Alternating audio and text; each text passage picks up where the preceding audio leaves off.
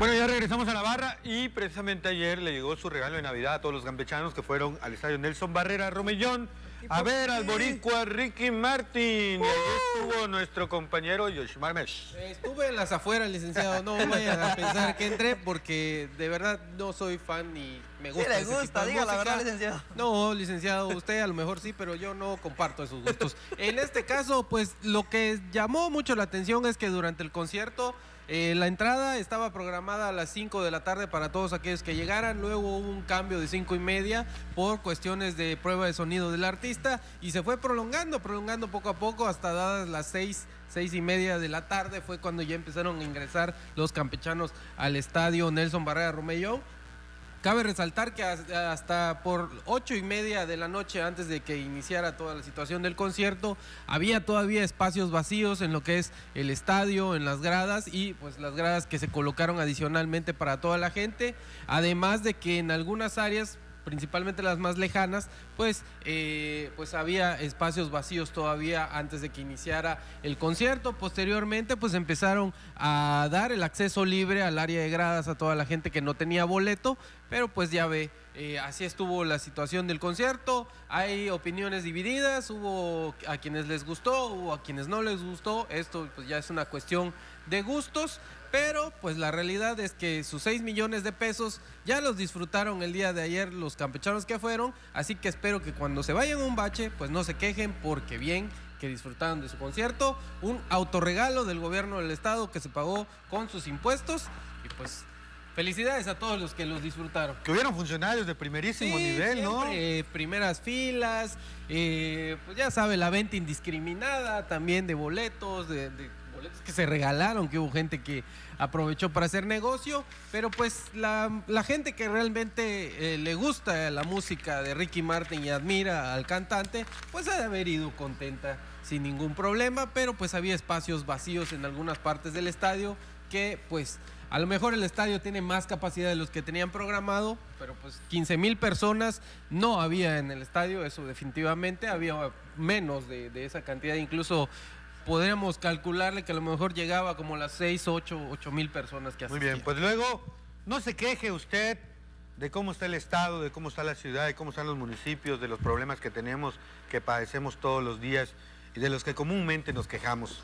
Quienes asisten a este tipo de eventos pues tendrán sus razones y sus gustos, pero bueno, lo importante es hacerle ver a los gobernantes si están actuando priorizando necesidades, priorizando obras, priorizando acciones, o nada más se dejan llevar porque les guste también algún artista y piensen que con esto ya solucionaron gran parte de los problemas de los que todavía nos vamos a lamentar. Y el cochinero al final, como Estas siempre. fotos, sí, óyeme como siempre, al finalizar el concierto, pues la gente no tiene la cultura todavía de agarrar su basura, llevársela a su casa y ponerla en el bote. Tampoco había botes cercanos dentro de lo que es el estadio, pero pues habrá que ver, habrá que pedir información de qué tanto daño puede tener el estadio, porque el escenario que colocaron pues sí era de gran peso y hubo pues ciertas situaciones, la gente no crean que todos hicieron mucho caso de ir con zapatos cómodos, porque pues ya sabe, lo fashion a veces tiene que ser primordial y pues el campo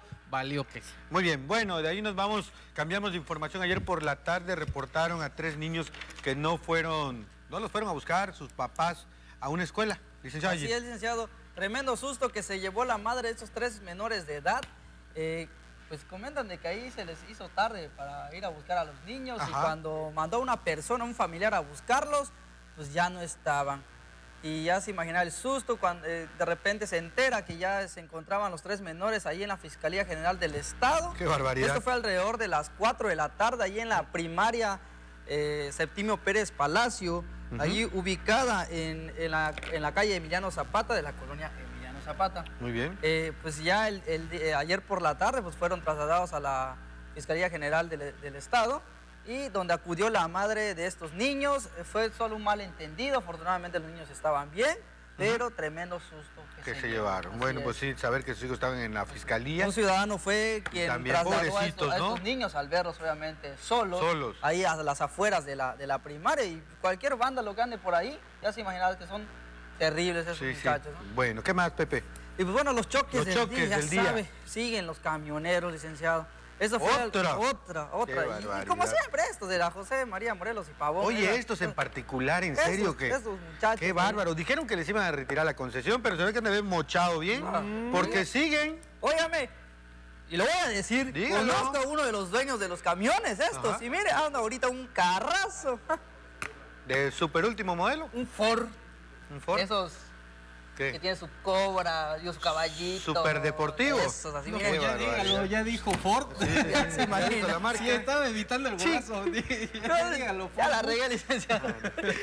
bueno, ¿y qué pasó? Esto fue alrededor de las 9.30 de la noche en la avenida Gobernadores entre la avenida Ejército Mexicano y la avenida Héroes de Nacosari. Esto fue, invade carril el, el chofer de, este, de esta unidad número 5, este camión de la, de la empresa María Morelos y Pavón, ruta Bellavista Morelos, e impacta del costado izquierdo a un Chevy Monza blanco, el que ven en sus imágenes, Ahí decía el chofer, alegaba de que no le hizo nada, no le hizo nada. Y vean el tremendo trancazo que tiene le dio, en la puerta. Claro. Ahí, este, trasera el Monza. Pues llegaron a arreglo con sus aseguradoras y ya se imaginará, fue para largo. Y el día de hoy por la mañana alrededor, después del, después del desayuno que nos brindó ahí el gobernador del estado, pues un trancazo ahí en el centro, le hicieron un aparatoso accidente y ahora sí que la lavada de coche sí que le resultó muy cara. ¿En serio? ¿Por qué cree, licenciado? ¿Por qué? A ver, Porque el conductor de, del Honda Accord, ese eh, color blanco que, ven en sus pantallas, sale de la calle 63 para cruzar hacia la 16, no respeta el alto e impacta, como ven, de frente ahí, del costado de izquierdo, a la conductora de este Volkswagen Gol negro, licenciado. Afortunadamente no hubo lesionados, solamente eh, los daños que fueron muy cuantibles, muy ¿Cuantiosos? muy cuantiosos. Pues sí. Y, este, y el que iba manejando el, el Acor era un empleado de una conocida, eh, el lavadero de, automóviles, muy prestigioso. Ajá. Y pues el muchacho se, se, pasó el alto y ya imaginará. Ya se rayó. Ya se rayó y ya llegó la, dueña del vehículo. Y, Enojadísimo. y, tuvieron que cerrar la, la, calle 16 desde, desde la 63 hasta lo que es la, 59. Muy bien. ¿Es todo? Es todo, Es todo sobre los accidentes del día y cambiamos de tema. Por otra parte, fíjese usted que pescadores de aquí, del Camino Real, están que trinan. Y en los próximos días ya amenazaron con que van a bloquear inclusive el malecón si las autoridades de la Zagarpa, de la Conapesca, de Pesca del Gobierno del Estado, no toman cartas en el asunto porque dicen ellos que desde principios de mes en que terminó eh, la temporada de captura de pulpo y volvió a entrar en veda el octópodo, pues dicen ellos que la pesca de los buzos sigue, pero a todo lo que da.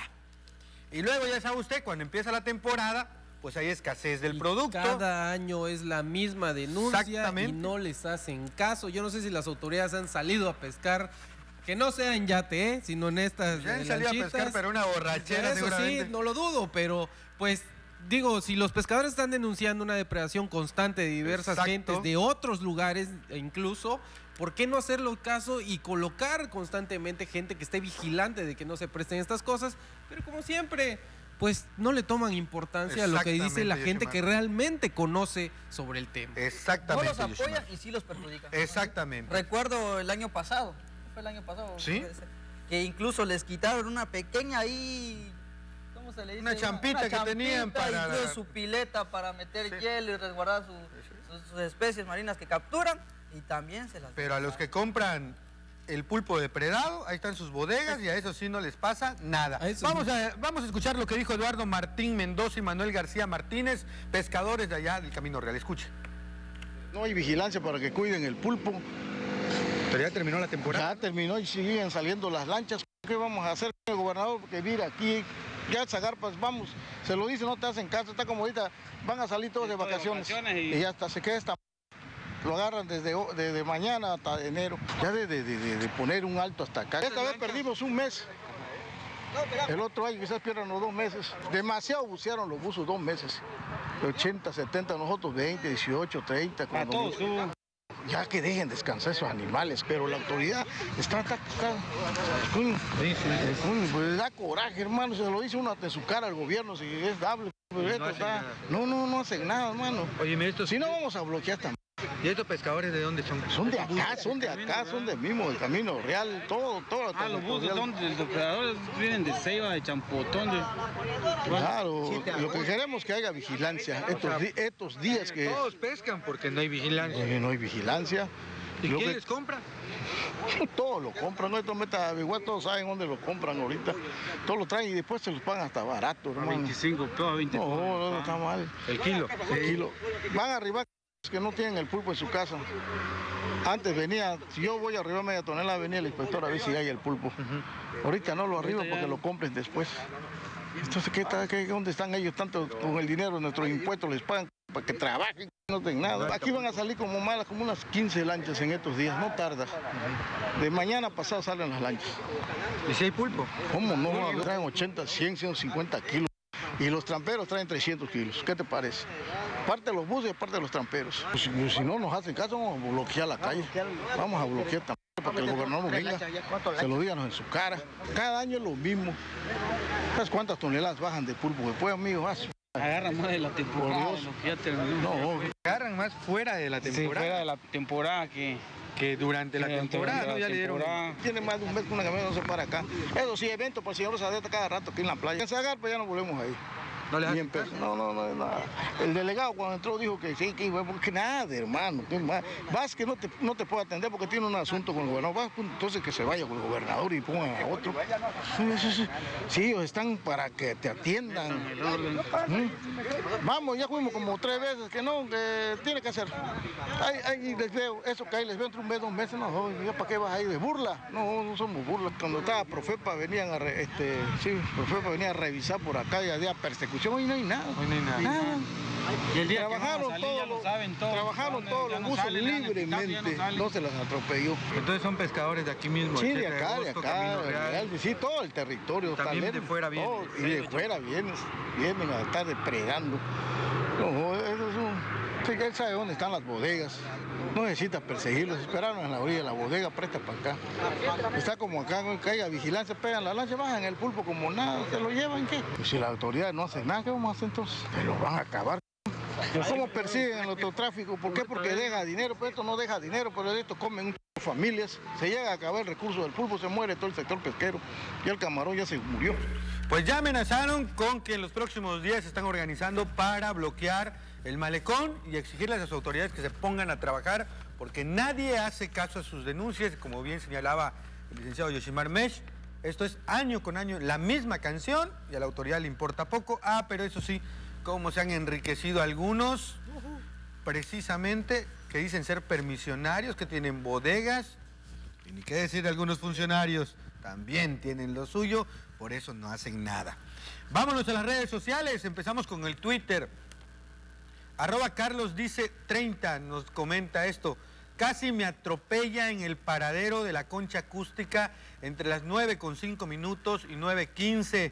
Al parecer no ve bien, ahí está el número de las placas, ahí está la matrícula también, el número del camión. Este camión pasó a atropellar al señor Carlos, que nos manda esto por Twitter y sube su denuncia para que lo sepan todos los tuiteros y miren el tipo de camión, licenciado. Aparte, perrísimo, ¿no? Pues que tenían que estar bonitos y pechochos pues para ya sabes, ya sabes, ya sabes cómo es este negocio. Mientras paguen su cuota, seguirán circulando los camiones más destrozados que puedan haber. Y total, que se friegue el ciudadano, sigue pagando más y con una flota de camiones que insultan, insultan a todos los ciudadanos. Por lo Jesús Cetina nos dice, Calle 14 entre 106 y 108 en Santa Lucía. En este momento, ¿dónde está desarrollo urbano? ¿Por qué las calles están como están? Ahí lo tiene, el tiradero de agua. Ahí está, mire. ¿Ve usted? Más que evidente el asunto. Más que evidente. Y hasta el carro. Y hasta el carro le Vieron, aprovechó esa agua para lavar el, cochecito. cochecito. Mari arroba may-cosgaya me manda esto. Camioneta obstruyendo garage casi todo el día por mi casa no hay oficinas de esta dependencia, nada más que no nos puso su dirección. Ojalá y Mari nos pueda mandar el dato preciso, pero sí, es de, me parece que es del Cesabecán. Esta tiene placas de otro estado, ¿eh? Sí, ¿verdad? De Quintana Roo. De Quintana Roo. del estado. Bueno, en el Face, ¿qué tenemos en el Face? Vamos con Pau Molina, dice, buen día, quería hacer una denuncia. Ah, mira esto. Ah, perdón. Eso está buenísimo, está circulando también en las redes sociales, precisamente en el Face. está esto de expectativa. ¿Dónde es realidad. La realidad es la que tenemos acá enfrente de Telesur. No, crea que el de ahí, el bien iluminado es de acá. El que ¿eh? está, eh, claro, el que está bien iluminado creo que es de Estados Unidos, si no me equivoco. Y el que quisieron fusilarse y que está aquí en la puerta de Telesur, lo pusieron aquí. Ah, está ese en el paso peatonal. De, Digo, la idea es buena, ¿no? Digo. Hasta para adornar hay que tener gusto, licenciado. Gracias, gracias. Qué chiste, digo, si no se les da, pues. Oye, sí, es, no ¿dónde será eso? Pues miren, Central Park, ¿dónde es? La persona que, que vio esta imagen en algún otro lugar o que lo buscó en las redes sociales. O que viajó a este lugar y o lo que fumó cuando dijo, lo voy a poner en un paso peatonal el malecón mínimo. Oye, sí, la idea es buena, pero digo, yo, yo, yo, pensé que era original la idea, licenciado. Se lo juro, cuando vi la primera vez esta esfera dije, Ay, no está coqueto el, En este estado nada puede decir que es original porque ya vimos el Campeche que está ahí, que salió de un bariloche, luego el Qué bárbaro. Bueno, hay más en las redes. Bueno, Pablo, Pau Molina nos dice, buen día, quería hacer una denuncia en el INE del municipio de Campeche, esto porque existe comercio de plazas temporales.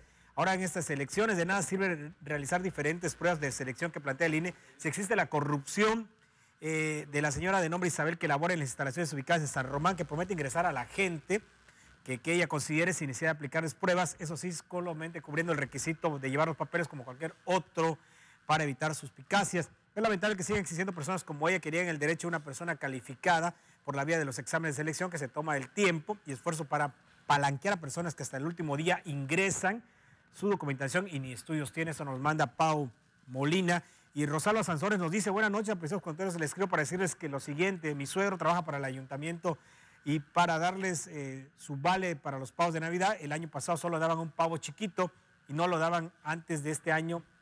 Y se está corriendo el rumor de que ya no se van a canjear los vales en los super, sino que dicen que los traerán de una camioneta y como el año pasado no les darán un peso, un peso justo, dicen que esto será porque así pretenden que mucha gente no vaya, no lo vaya a sacar y Ana Marta pueda sacar de provecho a esta situación. Lo que me queda claro es que mi cero tiene miedo de no estar eh, ahí y no poder cambiar el vale. Por favor, ayúdenos a saber el día exacto eh, para que pueda ir, pues es muy importante que todos supiéramos por su atención. Doy gracias, deseando una feliz Navidad y Año Nuevo. Pues hay que checar lo de los vales, ¿no? Sí, porque hay que ver con qué eh, tipo de supermercados tienen algún este, convenio, convenio el ayuntamiento, porque recuerden que el año pasado se suscitó una problemática con algunas personas que no les entregaban su pavo en conocidos supermercados sí, sí, sí, detrás del centro de convenciones, entonces hay que estar pendiente y si no se lo quieren cambiar, pues, eh, pues tome fotos o grábelo y envíen. ¿no?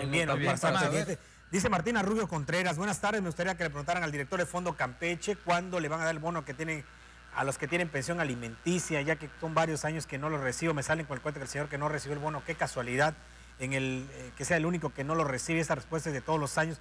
En recursos humanos me dicen que solo reciben órdenes, entonces no respetan las leyes. Eso no sabía del el bono de pensión alimenticia. Bueno, vamos a averiguar qué pasa. Bueno, y hay más. También Mayra Carmen Sánchez Quijano nos dice esto, Yoshimar. Sí, dice, buenas noches, es un comentario de cómo hay empleados del H Ayuntamiento en el área de mercados, más como un poco de respeto hacia la gente que va de compras. Ahí es de que como permiten que algunas de las personas que barren estén hasta las chanclas de tomados, pues dicen que no les pueden hacer nada porque son del sindicato de Bonilla y lo pueden corroborar, es diario y aparte de que son impertinentes, son groseros con la gente.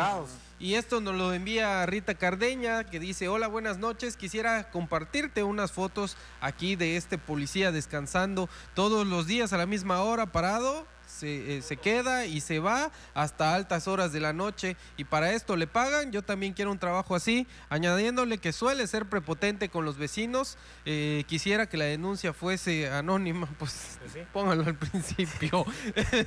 y esto nos envía también el señor Cruz José, dice, bueno, ya pasó Ricky Martin, todos como locos, ahora señora Ana Marta Escalante, habrá quedado algo para reparar las luminarias del andador Chencoyi en, en solidaridad urbana, ya tiene más de dos años sin servir el alumbrado de este andador. Pues sí, es de los problemas más serios que hay en la ciudad y hasta el momento no se ha puesto un absoluto interés en resolver la cuestión del alumbrado público. Bueno, el que acusaron de seguir vendiendo terrenos. Bueno, hay una información de Sedico, ¿no? Sí, fíjate que usted que tiene un negocio se quiere convertir la idea de su negocio en una realidad. La caravana Sedico a sus órdenes se llevará a cabo el día 18 de diciembre del 2014 en el Cine Teatro Universitario a partir de las 6 de la tarde. ¿Qué es la caravana Sedico? Bueno, es eh, la caravana Sedico está a tus órdenes que podrás aprovechar en un solo lugar la atención de todas las dependencias del gobierno federal, estatal y municipal para concretar tu idea de negocios. ¿A quién puede beneficiar la caravana? Bueno, es muy sencillo, a emprendedores y empresarios. ¿Y qué tipos de apoyos se estarán ofertando? Vea usted, la Política de Desarrollo 360 Grados PYME ofrece asistencia técnica para elaboración de diagnósticos, perfiles de negocios subsidiados al 100% ahorrando, asistencia técnica para la elaboración de planes de negocios y costeo de proyectos de inversión al 100%, elaboración también de tablas nutrimentales subsidiadas al 100% y también talleres de capacitación subsidiados al 100%, elaboración de actas constitutivas subsidiadas al 92% y registro de marcas subsidiado al 50% del costo. Código de varas también subsidiados, desarrollo de imagen subsidiada, material de promoción subsidiado para obtener demo, stand, banners, cenefas, stoppers y pósters, capacitación en Copriscan para cumplimiento de las normas oficiales mexicanas, consultoría, por supuesto, certificación para exportación, gestión para la introducción de tu producto a, cadenas comerciales, asesoría para mesa de negocios y también fuentes de financiamiento. ¿Qué necesito si me quiero unir a la caravana? Pues es muy sencillo, hay que registrarse, preste mucha atención, en línea en www.desarrollo360pyme.com y asistir el 18 de diciembre a las 18 horas en punto. Y bueno, se estarán ofertando este, esta situación a partir de las 5.30 de la tarde. Voy a repetir la dirección del correo electrónico, ahí aparecen sus pantallas, www.desarrollo360 grados, 360, perdón, pyme.com. Es para que usted vaya y aproveche lo que está ofertando Cedico. Muy bien. Por otra parte, el que acusaron de estar vendiendo terrenos en la invasión Sinaí nada más y nada menos que al Güero Vallejo. A ¿Otra vez? Madre santa. Pues bueno, ya lo sabe usted, esta situación se sigue gestando. Estos señores que ve usted en pantalla están acusando que ellos son los únicos que tienen tratos con la dueña de los terrenos. Y vamos a escuchar lo que nos dijeron a las cámaras de Telesur para que usted vea también que siguen los problemas de invasiones y se siguen armando de negocios a diestra y siniestra sin que nadie ni una autoridad le ponga freno al asunto. Escuche. El problema de que hayan llegado denuncias de que el Güero Vallejo está vendiendo y revendiendo terreno, que está extorsionando a la gente, abusando de la necesidad de la gente, le pide cooperación para él. El problema de que hayan llegado denuncias de que el Güero Vallejo está vendiendo y revendiendo terreno, que está extorsionando a la gente, abusando de la necesidad de la gente, le pide cooperación para esto, que va a hacerle papeleo en el gobierno, que se va a ir a México. O sea, y así ha tratado. Pues ahí está el señor Quijano, no es Quijano Valencia, que es el representante de los señores dueños propietarios de los terrenos, donde ya supuestamente llegaron a una negociación. Acá el punto es que solamente están esperando que el gobierno, el Estado, el ayuntamiento se junten y planteen cuánto de dinero es lo que se quiere por esos terrenos y cómo van a pagarlos. Me llama la atención el hecho de que decir que esta es una invasión, cómo pueden estar vendiendo terrenos que han sido invadidos y el ayuntamiento no voltea a ver esta situación porque puede estar infringiendo en algo totalmente ilegal. Pero pues tampoco. Bueno, la invasión ya está en forma. y, sí, ya el han querido estar regularizando las tierras, de hecho, con el ayuntamiento. Ese señor que vimos ahí, Noé Quijano Valencia, es este, el representante directo de los propietarios que, tienen eh, negociaciones con esos señores que ya invadieron, pero que bueno, que en, los subsecuentes serán eh, entrevistados con el ayuntamiento y gobierno del Estado para llegar a un arreglo monetario sobre el pago. No hay otro, el Güero Vallejo se está metiendo, pues según ellos, las narices en donde no debe. Bueno, pues ahí está este asunto. Óigame, este, miren lo que acabo de encontrar ahorita en el, en el Face, checando el Face. La diputada Ana María López Hernández acaba de subir a su Face, bueno, lo etiquetó para todos sus contactos, su cheque de aguinaldo. ¿Así? ¿Ah, ¿Cuánto le Les dieron? Bueno, aquí está. Ya no va a dar tiempo de presentarlo. Aquí está. Ay, perdón. 67 mil 400 pesos le dieron de aguinaldo. Bueno, dos a quincenas. La, a la diputada. Pero ha sido la única que lo ha subido, que lo ha a conocer, lo ha hecho público y ella, lo hizo por medio de esta red social. Qué bueno este que lo cheque del Poder Legislativo y dice eh, Ana María López Hernández, son 77 mil 971 pesos, casi 68 mil pesos de aguinaldo. ¿De aguinaldo? Con, ¿De aguinaldo? sueldo? De aguinaldo. De aguinaldo entero, ok. Esto es lo que recibimos como aguinaldo. Hoy en una silla de ruedas como parte de nuestro compromiso, el compromiso de su partido con los seguidores del PT y la ciudadanía. Bueno, a ver quién más dice esta boca es mía. Mi pregunta es, este, no tiene nada que ver aquí las posiciones de partido y prerrogativas y demás. Pues- Es aguinaldo, ¿no? Es aguinaldo entero. Aguinaldo íntegro. Íntegro. Por- entonces los Aparte, demás recibirán o casi sea, lo mismo. El, el meollo del asunto, por Espero lo que veo que está planteando aquí, que es la única, al menos como yo lo leo, la lectura que lo doy, es la única diputada que ha hecho público esto. Sus aguinaldos. Solamente aguinaldos. No estamos hablando de sueldo. Aquí dice, en lo- la publicación que hace, esto es lo que recibimos como aguinaldo. Hoy doné una silla de ruedas como parte de nuestro compromiso, nada más. O sea, es aguinaldo. Quienes son presidentes de fracciones, quienes están en comisiones, reciben otro dinero más, Ah, además claro. de los 10 mil pesos que tienen como gestión mensual A eso me y refería. otro tipo de prestaciones que les dan, así que es mucho mayor, pero en aguinaldo esto les están dando. Ya ven que hay algunos diputados que se dan golpes de pechos, que dicen que corrupción, que esto, que lo otro, o que se suben a pedir cuentas claras y no hacen lo propio. Ojalá y Pues lo ahí está, el aguinaldo de un diputado es de casi 70 mil pesos, 68 mil pesos. Ojalá y cómo no. les dieran un uso que realmente ayudara a la ciudadanía. Sí, si nos vamos eh, eh, a las sumas del sueldo, de lo que reciben por gestión y otro tipo de apoyo, estamos hablando de más de 100 mil pesos. 100 mil pesos. Estaríamos hablando de, no sé, 120, no sé, por ahí. Yo quiero un Promedio. trabajo. Ahí, por Sí, ahí, más. tenía- ahí teníamos la tablita, a ver si la sacamos. mañana. Más. Sí. Porque si estamos hablando de que están ganando arriba dos de los treinta y tantos, casi los 40, Quincenal. súmale 40, 80, no, hay más. Así. Estamos hablando de más de 150, más de 160 mil pesos. Ojalá y la alcaldesa y el gobernador hicieran lo mismo. Pues sí, Sería que lo, interesante verlo. lo hicieran público, lo Que transparentaran. que hagan Sí, un, este, un hashtag. Eso nunca lo a Ese es mi aguinaldo. Bueno, no en... en Mira, ¿para qué lo van a publicar si luego te lo van a querer que te los, No, te los compartas? pero bueno. Bueno, pues ahí está No lo que subió al Face. Bueno, ¿ya estuvo? Todavía tenemos tiempo. Tenemos Tenemos más. licenciado. Vámonos con... El PRD, licenciado. Vamos al PRD. ¿Qué dijo el di- PRD el día de hoy? El día de hoy, pues acusaron una mala planeación de obras, que esto ha causado accidentes y bastante molestia a la ciudadanía. Pues bueno, todos los días lo vivimos los campechanos con las obras del megadrenaje y repavimentaciones, pero vamos a escuchar lo que dijo el presidente del Comité Municipal del PRD, el señor Luis Felipe Moturriza, al respecto de esta problemática. Como el municipal eh, tiene una infinidad de calles cerradas, accidentes viales al por mayor, accidentes a transeúntes por, por la misma situación de tener las calles cerradas. ¿sí? Asimismo, la mala planeación de las obras eh, ha dejado una infinidad de autos con desperfectos ya que las calles alternas que se utilizan para que usen los vehículos no están en condiciones para transitar. Es indudable que para mejorar las calles y avenidas de la ciudad se necesita una gran integración en lo que respecta a las obras viales, sin dañar a la ciudadanía, pero tal parece que en esta ocasión el daño a los ciudadanos y a los automotores de los mismos no les ha importado en absoluto a a los, a los gobiernos estatal y municipal. Para el Partido de la Revolución Democrática en el municipio, la mala planeación de las obras y el atraso de las mismas nos hacen pensar que esto es un plan con mañas, ya que no es posible que una, una obra programada para Por su parte, pues la regidora Guillermina Arceo Castillo señaló que está analizando la posibilidad de participar como candidata a la gubernatura por el PRD, cuando había dicho que iba a terminar pues, los tres años de regiduría en el ayuntamiento, pues ya ven que no. Ahora Pues quiere- que no. Y es posible que la vean en la tarjeta. En las tarjetas. las- Candidata a gobernadora del ¿Qué PRD. tal con esto? No es la única, ¿no? Hay varios allá que se han apuntado, ¿no? Apuntadísimos, sí, claro. Bueno, ya nos vamos. Mañana a las 3.30 les esperamos aquí en Telesur. Cuídense mucho. Lean la columna de Vladimir de la Torre Golpe de Timón. Ya medio mundo han enloquecido porque don Vladimir y sus fuentes dicen que Alejandro Moreno podría ser el próximo candidato Los a la Alito gobernatura. Y, y ¿Ah, sí? desató a los seguidores de Sí, Alito que los están... Alito Livers nada más que están ahorita, y pero- festejando. Adiós. idolatran. Nos vemos.